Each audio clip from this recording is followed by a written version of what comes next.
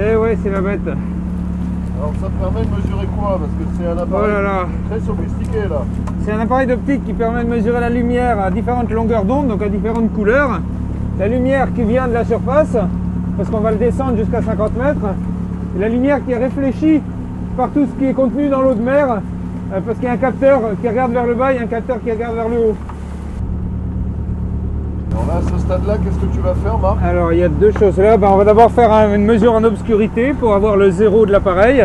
Et puis ensuite, ben, on va tester le ballastage de l'appareil pour voir qu'il descend bien. Et ensuite, on fera le profil.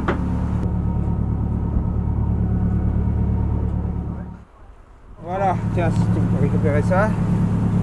Donc l'engin, il est, il est constitué de deux capteurs.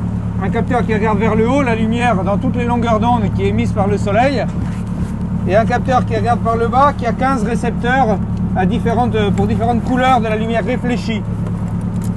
Ensuite, on a, dans la partie haute, on a le- la partie flottaison qui va le tenir à la verticale et en bas la partie lest qui va avec la flottaison permettre de régler la verticalité, ce qu'on appelle le roulis et le tangage du système. L'intérêt, Marc, euh, de cet appareil que tu vas mettre à l'eau, c'est lequel Alors ça, mesure la, réflexion de la lumière par les composants qui se, qui trouvent dans l'eau, qui est le phytoplancton en particulier.